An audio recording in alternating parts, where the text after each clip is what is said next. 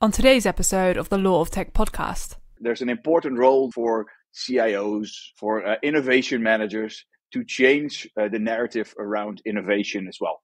Uh, and, uh, and, and legal is special because there's a specific dynamic, of course, right? Where uh, uh, at the end, most of the firms are partner-led firms.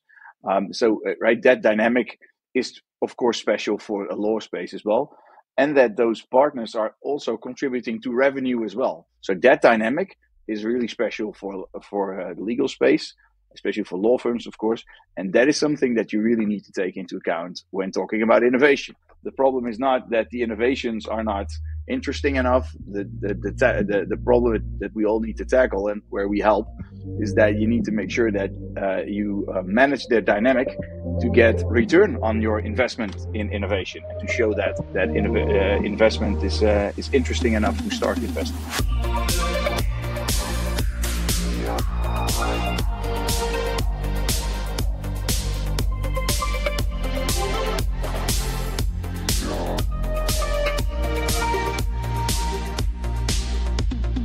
Hi, and welcome to another episode of the Law of Tech podcast. My name is Hadassah Drukarch, I'm your host, and I'm joined by my wonderful co host, Mark Mandola. Hi, nice to be here. And for today's episode, we have a Law of Tech special episode with our wonderful partners over at Betty Blocks. We'll be talking about uncovering misconceptions about innovation in legal, and for this, we are joined by Chris Obdam, CEO at Betty Blocks, and Chris Williams, Head of Community Building at BettyBlocks. But before we delve deeper into the topic of this episode, a quick word from our sponsor, Betty Blocks. Are you looking for a way to create solutions that will make legal processes faster, easier, and more efficient? Do you want to offer the best client experience with great digital services? Well, look no further than our sponsor for this episode, Betty Blocks.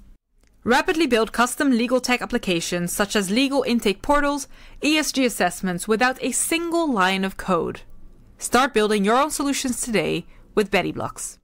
Welcome to the show, both of you. We are super excited to have you on the show for this special and on very relevant topic also.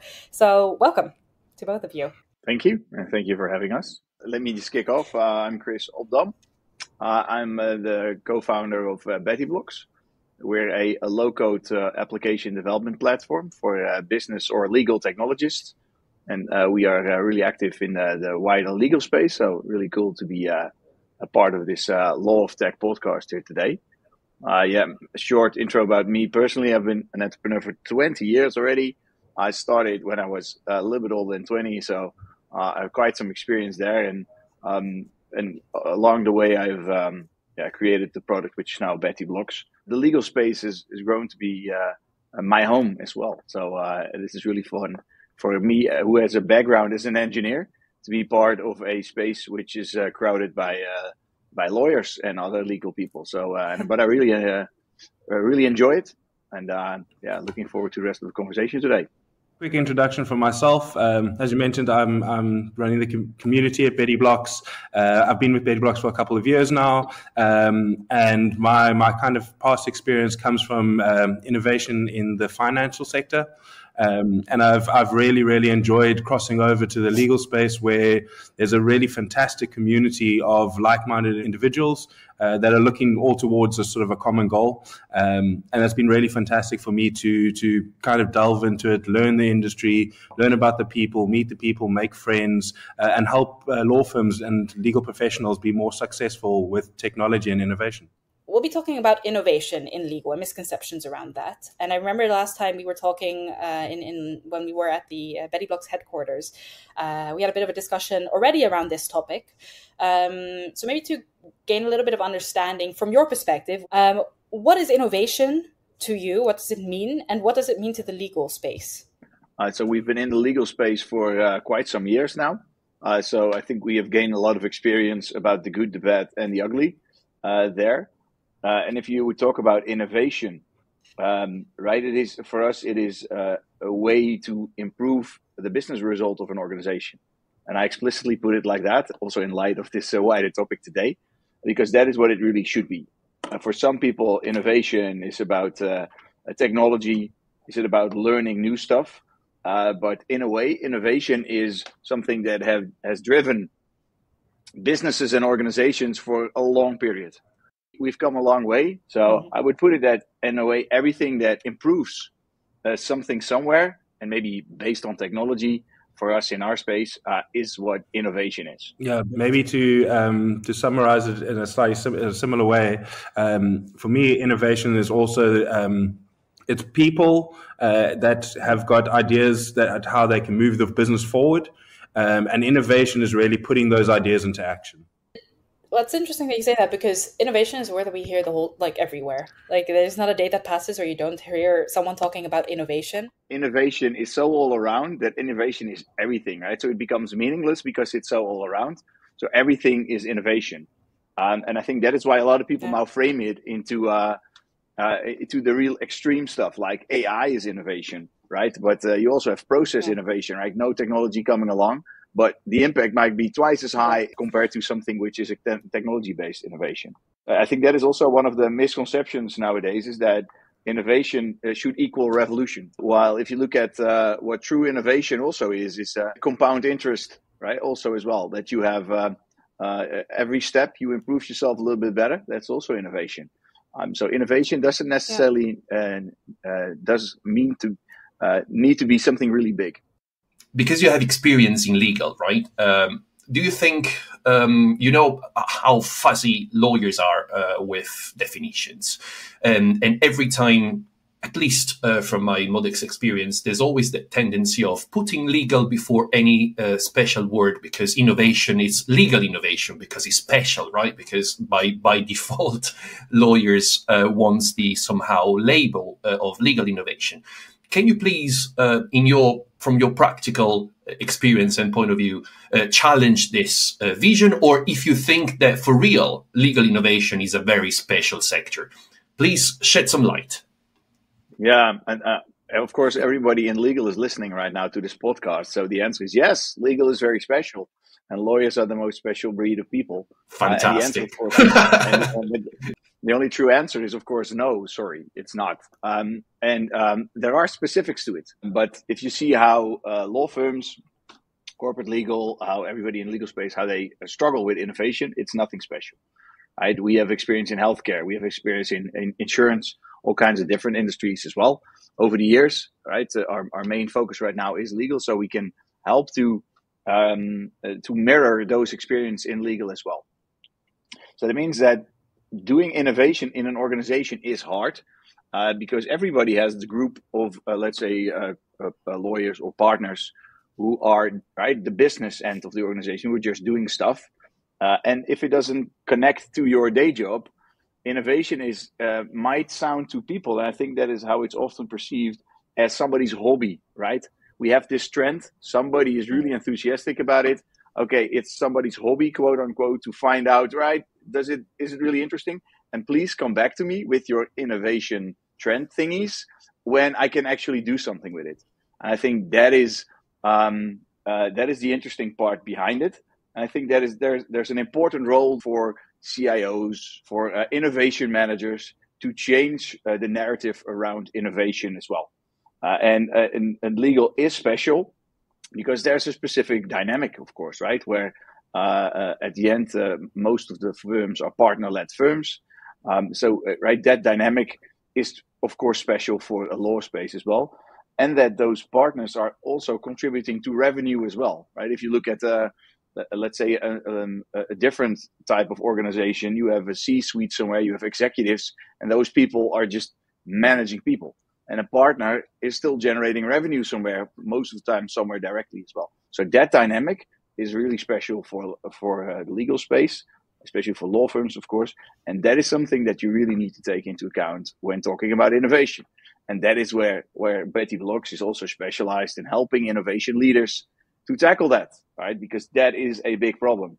The problem is not that the innovations are not interesting enough. The the the, the, the problem that we all need to tackle and where we help is that you need to make sure that uh, you uh, manage their dynamic to get return on your investment in innovation and to show that that uh, investment is uh, is interesting enough to start investing. What I also very much liked is how you said, um, you know, when when defining what uh, innovation in legal means we can learn from others. At the beginning of the episode you mentioned how both you of you are from a different field and how we can learn from each other. Can you maybe touch upon that as well? Maybe this is a good point to to talk about that like how we can learn from people outside the in, uh, outside of the industry who are now in legal but also within legal yeah. organizations. You mentioned cio others. Like how does this interaction work? Um, the question is how do you work together properly and how can you actually learn from each yeah, other? yeah and, and, and reflecting on how other uh, industries tackle this. And, and and having said of course that there's no industry who is excelling in this because innovation is just hard and organizing innovation is even harder uh, especially if you're bigger than 10 people big uh, as an organization. Um, but i think what what uh, what we in in legal can learn um, is is also what we see in different industries is making sure that you you tie the goal of your innovation to your company strategy, uh, and that is where I think is an important uh, topic um, because that doesn't always happen. Right now, AI is a big topic, um, and it's mainly a big topic because it is being perceived as a threat first, right? And that is one of the strongest drivers when you feel you're being threatened, mm. uh, then that means that you will start to move. But I think we can learn from this moment because this AI hype, quite a quote unquote, right? It's it's a little bit uh, maybe down playing it down there. But uh, if you look at it the longer phase, uh, uh, what would be interesting is making sure that you know what your company strategy is, because at the end, what we discussed as well, innovation is means to an end. It is a way to create better business um, business outcome. So if you know what the company strategy is, then you can tie it into that. And I think that is where sometimes uh, companies fail, is because they see innovation as the goal, right? We want to be an innovation, more innovative uh, company, and it doesn't work like that. So you need to find out, right, what practice area maybe, or uh, uh, how I organize innovation, or how do I want to flip my business model, and and how um, uh, how strong am I in this, right? How how um, how important is that to us? And I think that is that is where other industries are maybe a little bit more ahead. Is that they're talking, they're using innovation uh, as means to an end, and I think this whole AI uh, movement at the moment is really helping a lot because it makes a lot of people move, which is interesting. But then again, you should always tie it again together to your strategic business uh, objective somewhere. Yeah, so it really is moving and moving in the right direction. That's the distinction between the yeah, two. Yeah, so you need to know what what the right direction is. And I, and when we talk to law firms, right, yeah. I I am not surprised anymore, but I can be surprised again where I talk to a senior partner somewhere and ask, "Hey, what's what's the company strategy?" Uh, and and the answer is more revenue, uh, which I like as well as the company, right? So nothing wrong with getting more revenue, getting better results. Uh, but right, it, I think it needs to be a little mm-hmm. bit more specific, and that is also something that we can help with. Um, regarding because we touched it right because Chris Cole said about uh, AI and the hype and this sort of culture around it, uh, which is driven by, uh, let's say, the, the, potential threat, which somehow makes sense both on a commercial, uh, human side and technology, right? But what do you think is uh, the best way to uh, to cope with this sort of AI hype, which is something that no, not many, I will say, are discussing or have the courage to uh, talk to? And what's the best way to let's say uh, to improve the discussion in a more um, healthy and reasonable way? For me i think it's it literally it starts with education. Um, you know it, it, the hype comes around and everyone starts trying to move forward trying to do something uh, with it. But they had not a lot of people have actually taken the time to actually educate themselves about what ai is. Um, and then back to back to Chris's point, right? Is if you if you identify what the what the, the business goals are, then making sure that you're selecting the right AI, taking up the right sort of strategies that is going to actually support that that endeavor, uh, rather than this is what everyone else is doing with AI. We need to do something, and actually that's not going to that's not in line with what you your, you as a business are trying to achieve. Uh, it's more of a reaction to FOMO more than anything else, and you know that that can be a very big risk uh, for any business if you if you're going in blind. And it also kind of leads to the whole you know the whole discussion that's central to this episode about, episode about misconceptions, because at the the heart of it lies education, understanding what is actually possible and what isn't. Um, could you maybe touch upon what right now, if we look at the um, well, the state of the art of the technology, state of the art of processes within uh, law firms, uh, within the sector in general. What are the opportunities that we're seeing for uh, for the industry, and what are some of the barriers that you also foresee when innovating in legal? Yeah, interesting stuff. Um, um, I think there's a, there the the opportunities are are endless, and that's of course a stupid answer. But I think if you, everybody would probably agree uh, that uh, the legal space, in terms of innovation, let's say last twenty years, um, has not been the most innovation heavy uh, industry, and um, I think that provides an opportunity and is not a threat uh, because um, you don't have legacy stuff uh, flying around or legacy concepts or whatever uh, because you can uh, start from scratch as well. Um, so I think that is that is just in general uh, a really big opportunity for everyone. Um, and it differs, I think, uh, per partner and also per firm. But one of the most important opportunities that are out there is to really change the um, dynamics and the model of the industry everybody talks about uh, billable hours, right? Uh, that is where this industry is about. A lot of people, even partners as well, would love to change that. And I think there's a way to change your model and your relation with your customer. And your customer already expects that. We have done customer research. Uh, Chris Williams was also part of that. And we've spoken to a lot of customers of law firms, right? Corporate legal and others. Uh, and they expect law firms to move um, and so that customer relation is the most important thing uh, where this uh, uh, where in the long term this will uh, this will impact, and that is um, also about uh, making use of technology and innovation to do so. So of course, generative AI is really big, but at the end, um, it is still the same concept, right? So you have a contract needs to be created, and you're faster. That's going to be somewhat disruptive here and there, but the real disruption lies in changing the model at the end. So there are some uh, law firms who are a little bit more up on the road who already are changing that. They are changing and using BettyBlocks to create new digital products, subscription based products, which they sell to their customers. And having that customer relation is mm-hmm. quite different than just charging the billable hour. Of course, as a partner and as a firm, you need to make sure that it is not cannibalizing your your billable hour, right? Nobody wants to have a, more happier customer, but you're making less money. And it doesn't need to work like that as well. If you if you set it up right, it is one plus one makes three, right? Your customer is more happy, so you can make more money. And at the end, that is really important to uh, to a lot of people in the space. Maybe a little bit less in innovation, but at the end, the people who the innovation people report to, that is important right? I think uh, it's okay to acknowledge the fact that uh, legal space is, a, let's say, a capitalistic oriented space uh, where making more money is really important. But I'm from the software industry, right? So who am I to blame, right? This is all about uh, about building value and whatever. So right at the end, it's all the same. So I would suggest that innovation leaders embrace that concept and make sure that you explain that. I think that is really important. But uh, coming back, I think uh, the the big impact is going to be at the business model in the long run. I think what a lot of what sometimes the misconception is is that if you generate a service uh, if you create a service to your yeah. customer and they do, can do self-service, they won't pick up the phone, right? But that is just pricing. It sounds a bit simplistic, but the customer is probably 100% okay that if you would normally pick up the phone uh, five times a week, at uh, times two hours, right, uh, and have 10 hours of billable hour, and that you charge the exact thing for your subscription service, your customer will be as happy, probably more happier, because they can do it at their own time, at their own convenience. Yeah. So the misconception is that it's gonna cannibalize your your revenue. I think that is just that's just wrong. There might be situations, but then you are able to sell a little bit more in a different end where you normally were not able to to charge your customer for it because of reasons, right? So, but I think it should be that way, and it can be that way.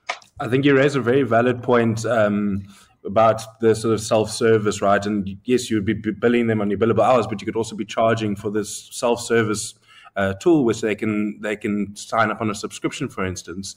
Um, and more and more today, the people that are the buyers, the clients, right, they want to be empowered, um, and at the same time, they're willing to pay to be empowered.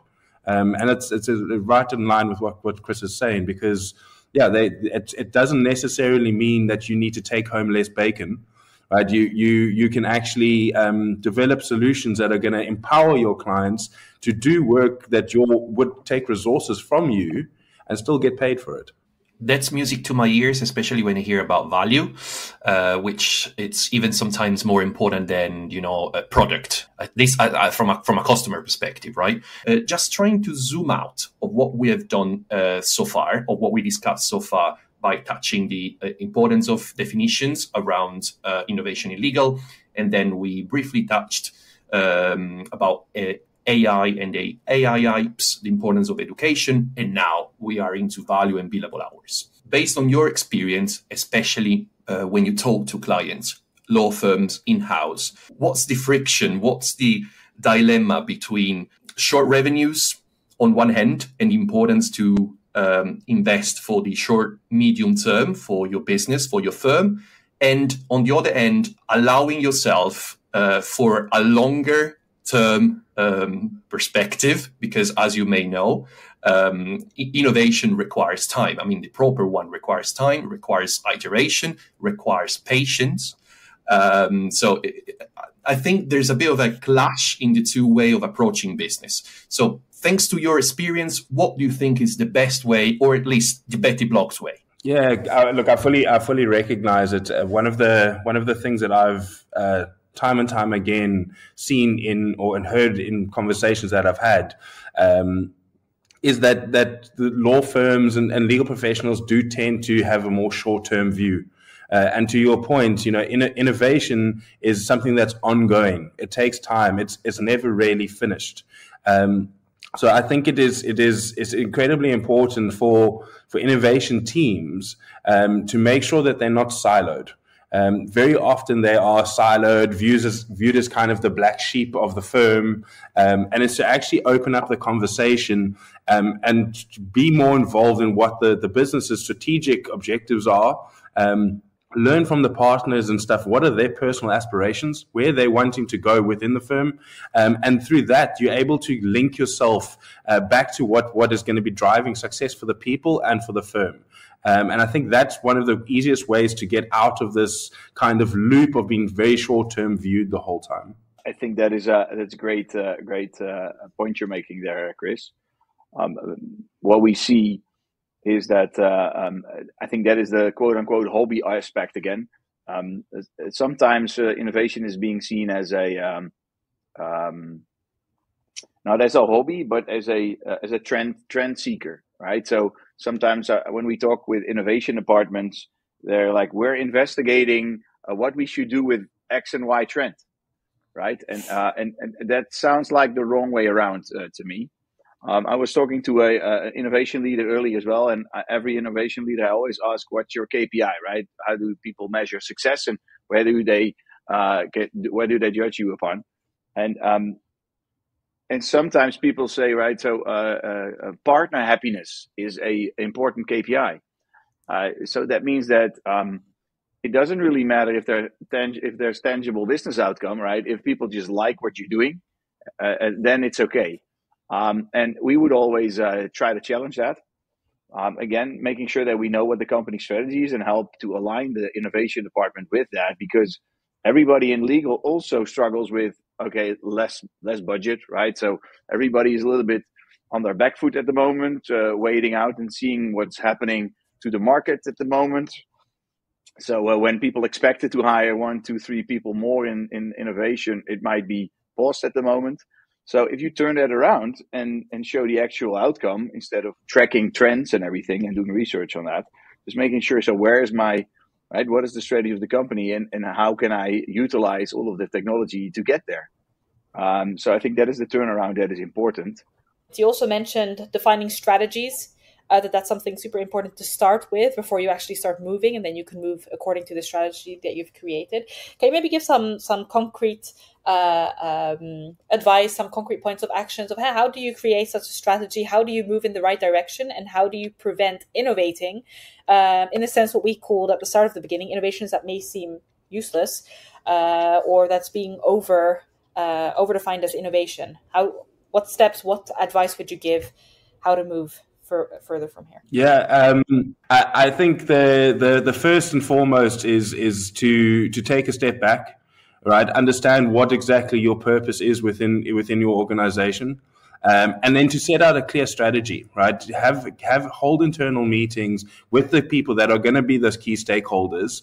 Understand where where and what it is that they are wanting to achieve, um, and through that, you can actually set up the right set of steps that are going to allow you to work in unison with them rather than being viewed as, as, as that sort of outlier, right? The, the thing that we know we need, but we don't really want because it's going to disrupt our way of working or it's going to change everything too much. Um, so I think it's it's it's it's key to to before you start to innovate, understand exactly what needs to be innovated and really understand why. Yeah, and, and it's a practical tip there, maybe. Um, um, so if you're you're you're doing that groundwork at the beginning, as, as Chris said, a practical tip might be if you're in innovation, right, there are so many practice areas out there. So either all of them are demanding stuff, which is hard, or none of them are demanding stuff, and we see both things happening. And if um, and I, I would always say that um, as a rule of thumb, um, find the find the uh, the practice area uh, who might be needing your help most. Because in in as a law firm, if you're in a practice area and business is booming, right, it's hard to make it even more booming. So find that uh, quote unquote struggling practice area.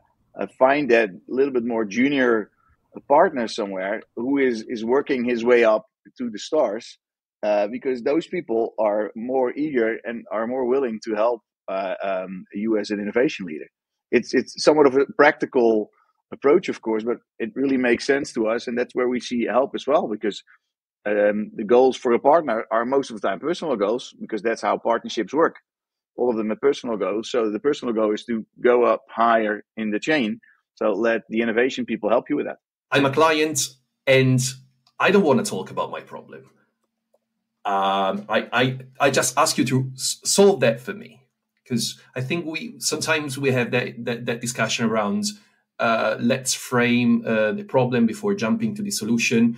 Uh, as a customer, I don't really want to open the uh, the cupboard with my problems. I just need a quick, uh, fast solution.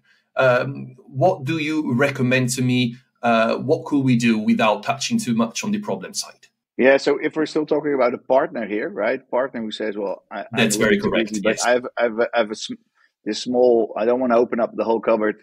I just have this small. Just help them with that, right? Nothing wrong with that, and and we should refrain from big uh, uh, innovation projects when you're you're where you're touching something new in terms of innovation, right? Start with something small, uh, because success to that partner might be that you put up one form it takes you like one day and you put it up online on the website and that partner might be amazed and you're fixing i don't know something that feels to him like you invested just two months of work right?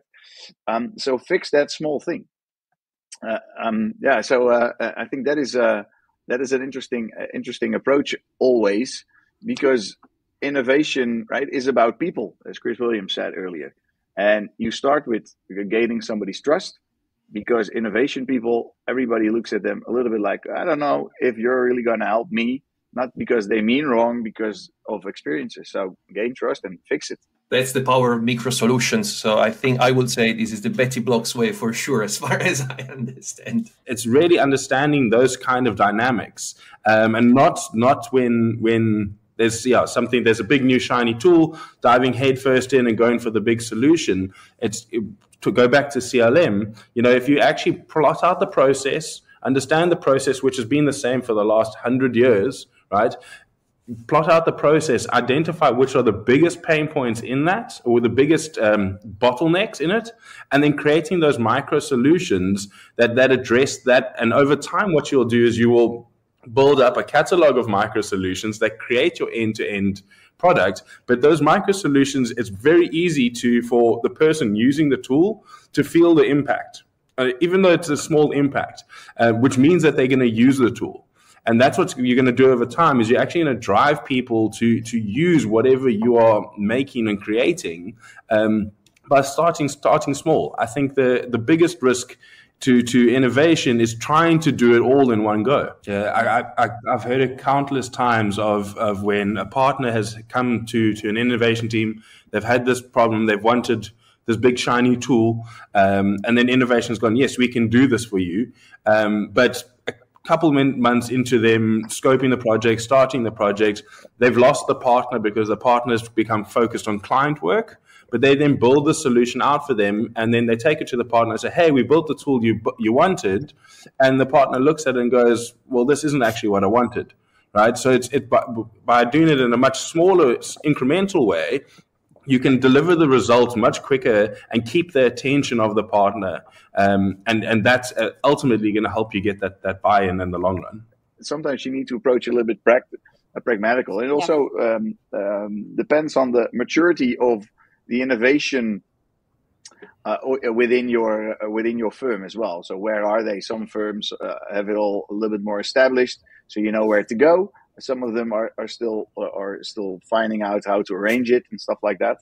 Um, so that means that that you, being a little bit more pragmatical and just finding maybe the right office location, uh, right? Because if you're looking at large law firms, right, they might have in one country difficult, different uh, different partners in different locations you just need to need to find the ones because there's also a dynamic between them, and that is something that you can work with again, right? Because uh, uh, don't fight the system, work with the system. I would say uh, there, and I think yeah. that there are quite interesting stuff that you can do. Because at the end, there's the, the, it's not a problem of demand. I think that might be interesting to uh, to point out as well. So I was doing a customer call with a, a big global law firm.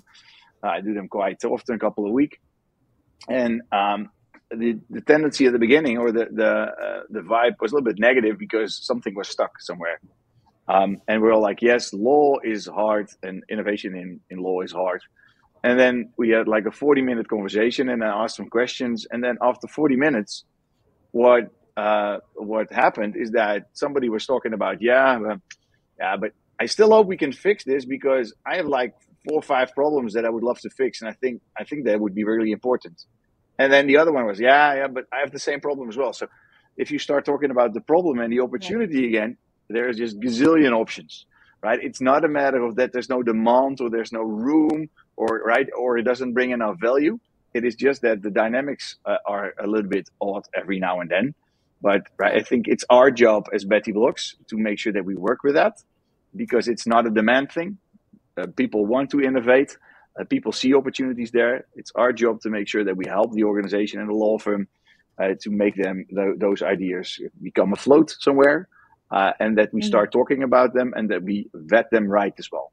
Because not every idea is a good idea, but the moment you have that structure better in place, then it becomes a discussion about value again, and not about the word innovation, but, but does this help the organization? Yes or no? And then you pick the ones that you think are the most uh, valuable maybe to add um, one thing, you also mentioned, you know, change and that innovation ultimately always um, results in some sort of change. Um, and to kind of bring both parties together, at the end of the day, we, we are all human, and humans are creatures of habit. Um, so any innovation, no matter what sector you're in, is going to be daunting. It's going to have some element of fear to it. Um, but at the same time, is is fear is often what you experience when you're on the cusp of doing something great. I am a little sad to think of something else to say. I wish like there would be a perfect place to cut the episode and a dramatic end. Should just stop now. Yeah, we should. I don't. I don't want to talk anymore. I, I won't talk anymore. no, Marco and I had a brief, uh, a brief conversation about how to wrap up the episode. Um, because last time when we spoke, we we had a um, well a, little uh, round of uh, if I were to be a genie and would give you three wishes, Chris. We uh, gave you a great opportunity there. Um, what would your wishes be to change the uh, well the legal innovation scene? Um, maybe taking a somewhat different approach here. Um, if you were to look at other industries, and we once again have a genie uh, here, and they are gra- or the genie's granting you a wish, uh, both of you one wish. Um, if you were to look at specific industries that you've worked together with, other than the legal one, what are what is a specific concrete lesson learned that you would take uh, and give the legal sector um, to innovate effectively? Yeah, so the first one we already touched upon, and that is making sure that you just don't see it as something special, but make it part of your grand strategy as your of your company, right? Your yeah. right, your goal is to do A or B or to go to A or B. Make sure that it helps you to get there and make it mm-hmm. tangible and, and measurable. Uh, the second bit would also be uh, around uh, experimenting.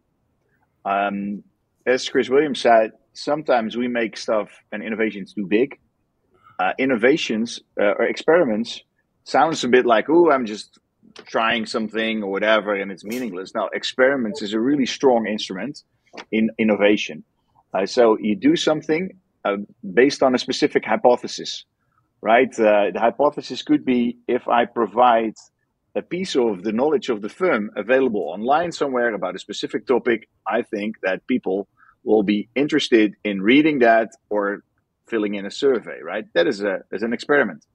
So you make a first MVP, a minimum viable product, or like the smallest version of a product first. You do that maybe in a week or maybe less even.